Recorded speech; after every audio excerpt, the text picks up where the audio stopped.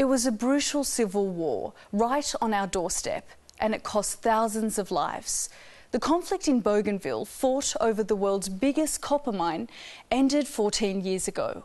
Now, the key players, Bougainville Copper Limited, owned by mining giant Rio Tinto, and the governments of Papua New Guinea and Bougainville, want the mine reopened. But SBS senior correspondent Brian Thomson has uncovered explosive new allegations which may complicate the current talks. And the controversial claims come from none other than PNG's Prime Minister, Sir Michael Somare. Here's Brian.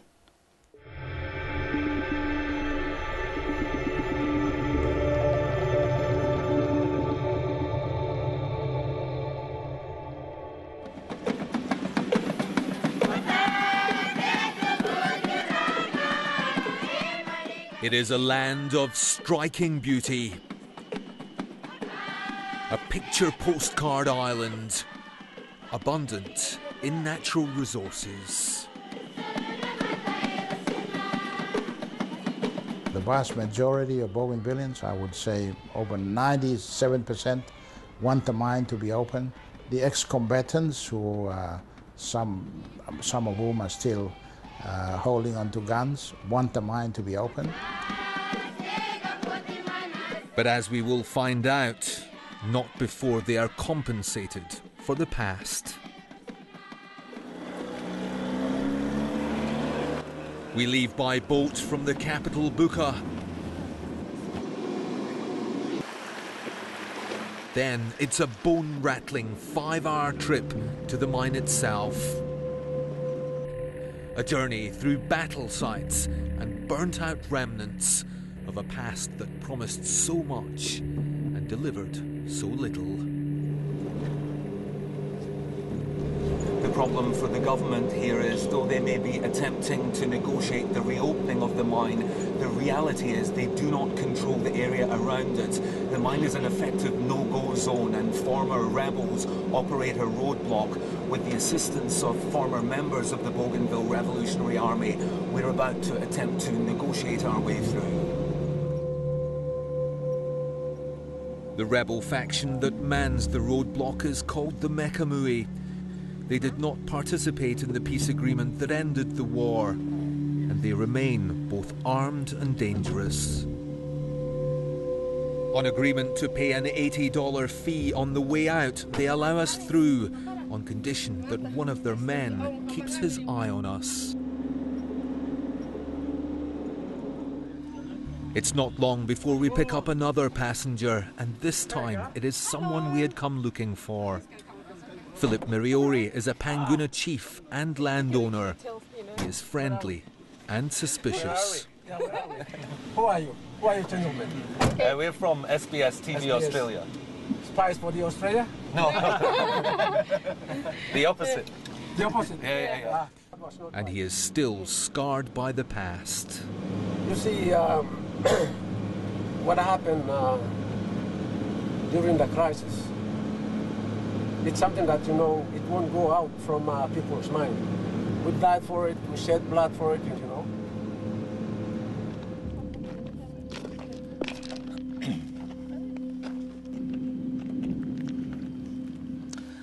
Well, this is it, the Panguna mine, two kilometres wide, half a kilometre deep. The war that ensued here after the mine was closed down claimed the lives of some 15,000 Bougainvilleans, around one tenth of the population. The Papua New Guinean government was desperate to reopen it because it provided it with around 20% of its revenues. The people of Bougainville got a little over 1% and a degraded environment, which is why they revolted. In 2001, in the aftermath of the war, many of the islanders launched a class action in the US against Bougainville Copper Limited's parent company, Rio Tinto. I was addressing jurisdiction I understand with that. regard to extraterritoriality. But there would be no need for the court to ever consider whether you had to exhaust in a foreign country if the, The case has been bogged down for 10 years. The landowners accuse Rio Tinto of genocide, citing the company's support of the blockade of the island and the military action which took place after the revolt against the mine began.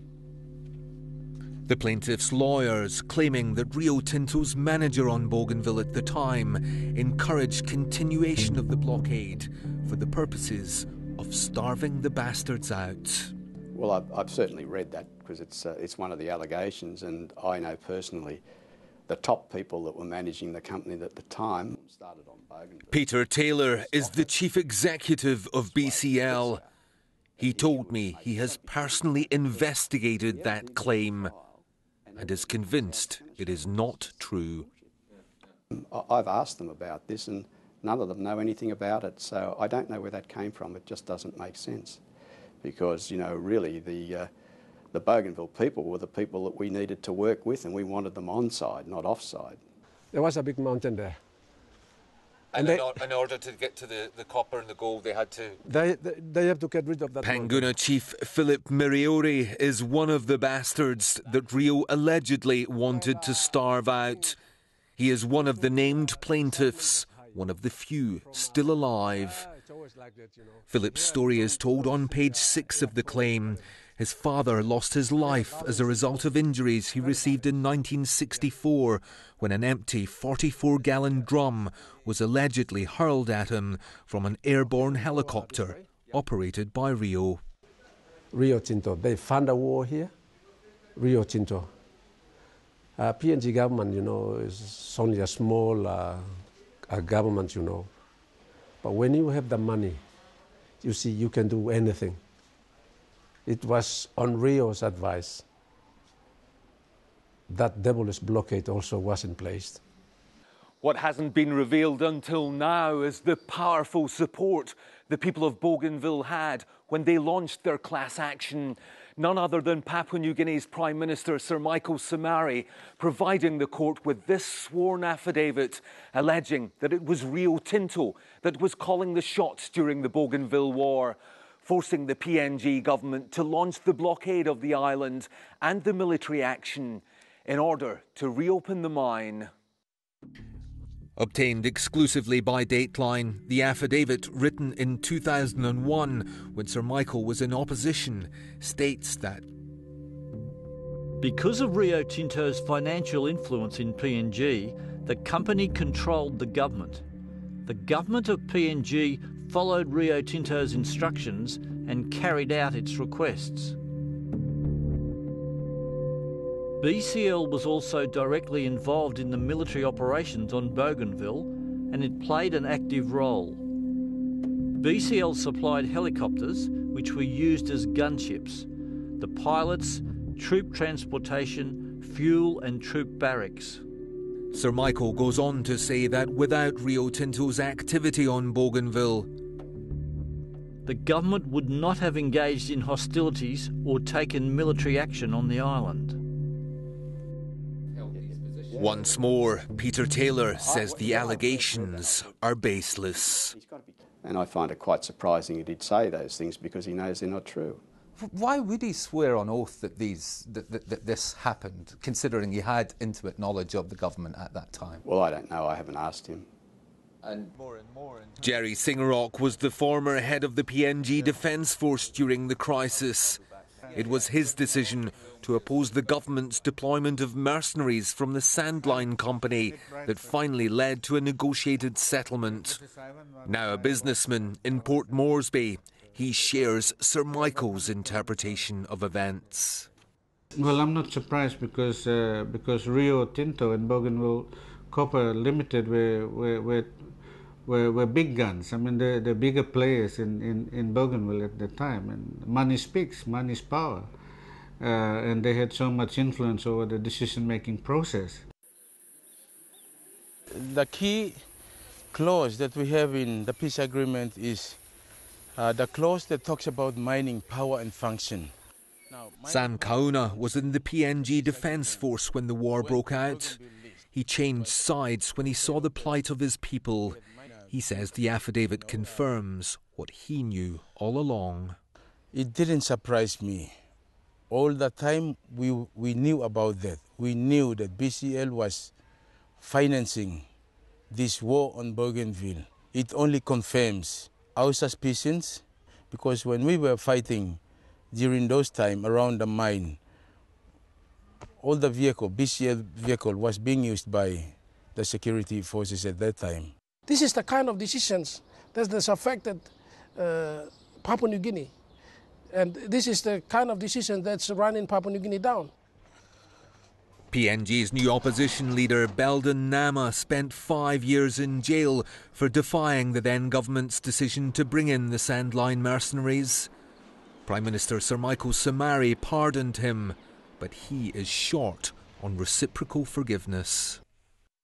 It is really damaging for a father of a nation.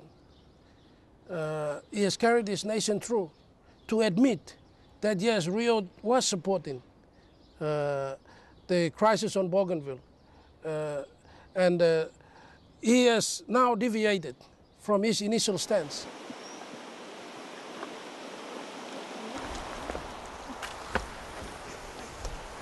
Wrapped up in the legal claim is a demand for compensation for this. This was the river down which Panguna's copper tailings were deposited.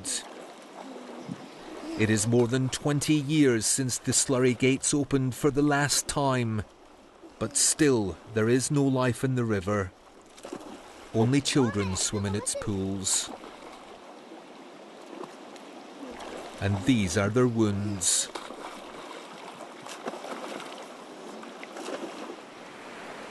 Which their parents who pan for gold blame on the poisoned river.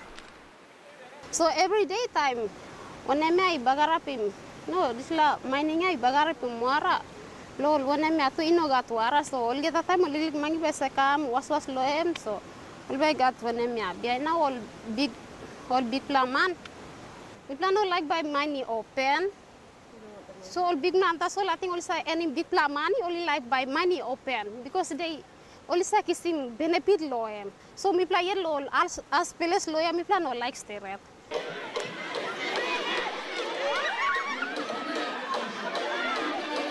Reconciliation is a government priority, and today villagers from across the island have gathered on the outskirts of the capital for a church fundraiser.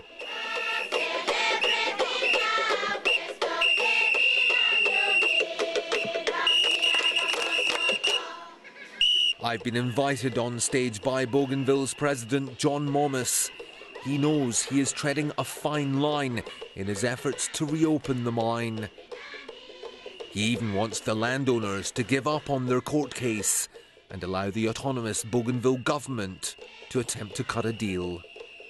I think it can be negotiated outside of court. In fact, I believe uh, if our people are prepared to um, allow the ABG to negotiate with BC with Rio Tinto, we would get a much better deal.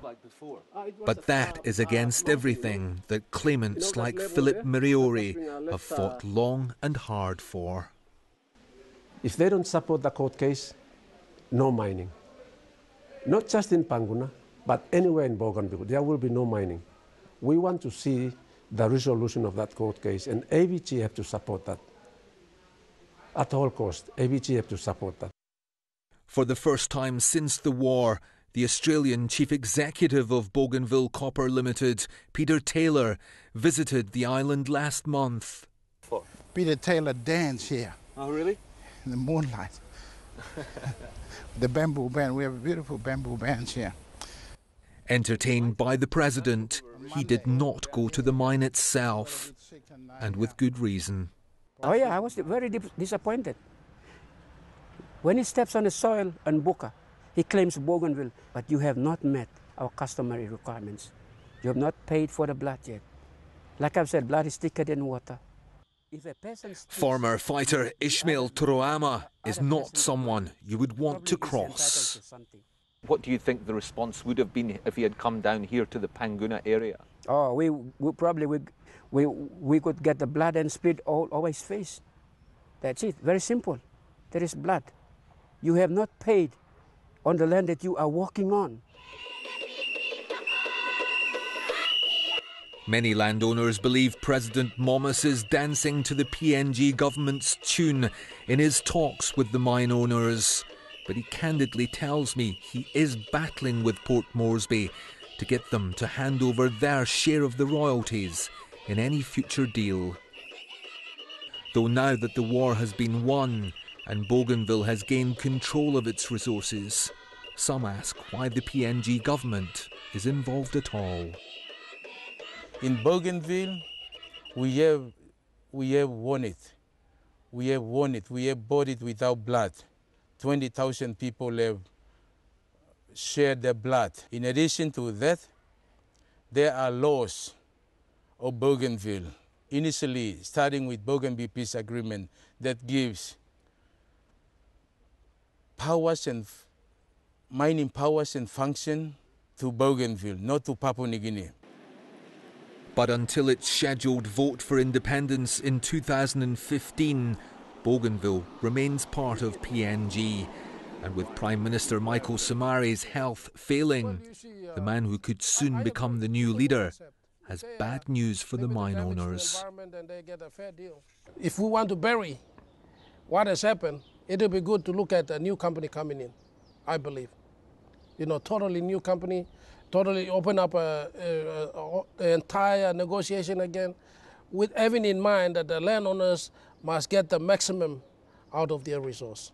We should be a country that should set an example to other countries that we have had a crisis. We have lost, lost so much people. We have to address it. What was the problem? The problem was that the government then did not address the landowner problem. So unless we learn from Bougainville, we're going to have more problems in this country.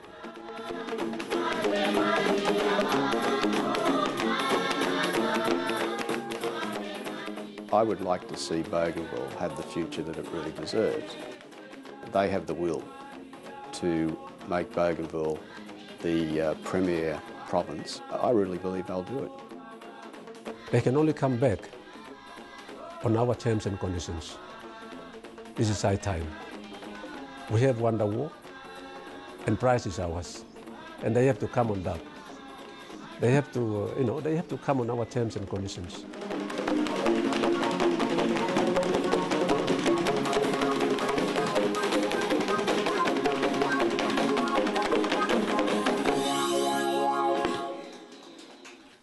Brian Thomson reporting with beautiful camera work from Warwick Ford. And as Brian says, PNG is the land of the unexpected. There are more tales from his colourful trip, including the finer points of negotiating your way through roadblocks and some remarkable music. That's in our behind the scenes video on our website at sbs.com.au slash dateline.